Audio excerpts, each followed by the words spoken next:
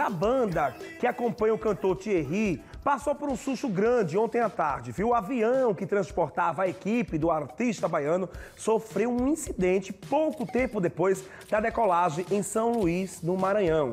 A porta traseira da aeronave se abriu durante o voo e as imagens são impressionantes. Vamos ver.